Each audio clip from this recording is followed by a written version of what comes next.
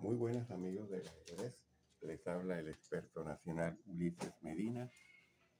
Y hoy en nuestro canal de YouTube del Club Torre Santiago, en nuestro segmento Conociendo las Aperturas, hoy vamos a conocer la defensa polaca. La defensa polaca fue una creación del jugador de ajedrez aficionado y simpatizante del ajedrez por correspondencia Alexander Warner, allá por el año 1913. Y la defensa polaca inicia con D4 de las blancas y B5 de las negras. La idea principal de esta defensa es impedir la jugada C4 de las blancas. Sí, pero no, porque igual el movimiento se puede hacer porque aunque se capture peón por peón, vendría dama a 4 y el peón no se puede defender con este peón porque está clavado con la dama. Y si lo defiende con el alfil, entonces con E3 el alfil capturaría el peón porque no hay otra forma de defenderlo.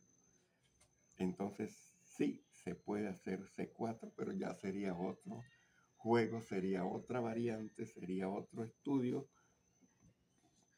Entonces aquí generalmente lo que todos hacemos y lo que se ha venido haciendo en las partidas que se han realizado a nivel mundial en torneos es E4. E4 no solamente se apodera del centro, sino que también amenaza al fil por.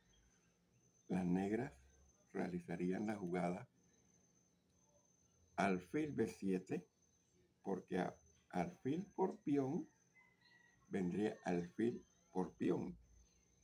Se ganaría un peón central por un peón lateral, con lo que definitivamente el negocio lo estarían ganando las negras. Aquí entonces el peón este está atacado y si se defiende con caballo C3, no funciona porque B4 atacaría el caballo donde lo quita, se cae el peón. Entonces el peón hay que defenderlo con otra pieza. Puede ser F3, pero generalmente se defiende es con alfil D3. Y a este movimiento entonces viene la jugada caballo F6 ahora no se puede comer el peón porque sigue la misma temática de alfil por peón. Y ni se les ocurra avanzar el peón para atacar el caballo porque vendría alfil por peón atacando la torre y a peón por caballo alfil por torre, quedándose las negras con calidad de ventaja. Entonces, hay que seguir defendiendo el peón que está atacado por dos piezas, el caballo y el alfil. Entonces sería dama de 2 y al movimiento dama de 2 viene la jugada E6. Ya se desarrolló el alfil por esa diagonal de aquí. Ahora viene este alfil por la otra diagonal de acá. Y entonces las blancas tendrían que tomar algunas decisiones y una de esas sería alfil G5, clavando el caballo de F6. Y a alfil E7, desclava el caballo, desarrolla el alfil, prepara el enroque y entonces las blancas harían la jugada caballo F3 ya para también preparar su enroque y sigue el tema de, de la, del peón atacado. Entonces, aquí ante esta situación ya serían dos opciones las que se podrían hacer aquí. Sería enroque corto o defender el peón con A6 ustedes dirán, ¿qué harían en este momento? Yo en lo personal, si estuviera jugando con las piezas negras, entonces, como soy un jugador de, de ajedrez táctico, me enroscaría corto. Pero también vamos a probar con el movimiento A6. Al movimiento A6, defendiendo ya el peón, las blancas podrían normalmente enroscarse y las negras también podrían enroscarse y no pasa nada.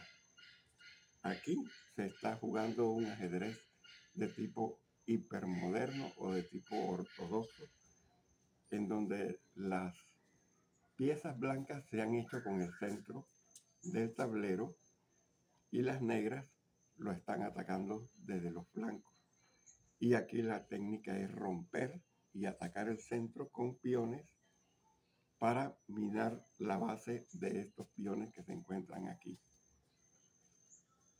Si les gustó el video, apóyenos con un like, compártanlo con sus amigos, suscríbanse al canal, activen la campanita de notificaciones y algo muy importante, Déjenos un comentario si les gustó la apertura polaca, si quieren que les haga análisis de otras aperturas, tanto famosas como desconocidas. Ustedes me lo dejan en su comentario. Importante que les voy a decir algo que les agradezco todo el apoyo que le han brindado a nuestro canal en estos últimos días. Hoy hemos amanecido con 1.2K de visitas y con un aumento de 11 suscriptores en los últimos días, lo que hace que nos sentamos orgullosos y agradecidos por el apoyo brindado a nuestro canal. Saludos y nos vemos en un próximo video. Hasta pronto.